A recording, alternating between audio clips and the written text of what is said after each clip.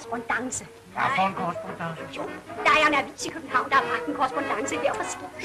Meget nærgående mod enkelte af passagererne. Jeg har det fra kaptajnen til. Den er underskrevet koret.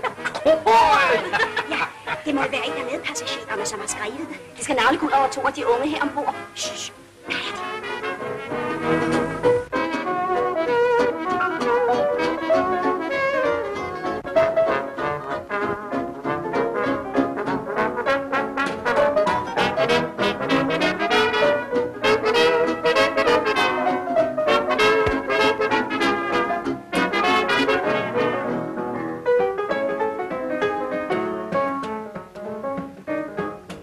Det er nu, vi alle hestefanger, Vi skal ind til tonerne i dag.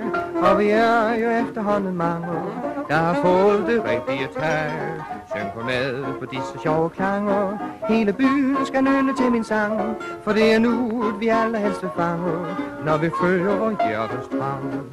Vi elsker travlhed, bus og bil.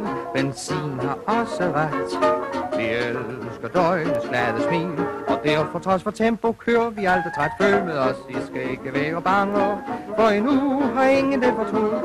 Det er nu, vi alle allerhelst fanger Lån os bare kvart minut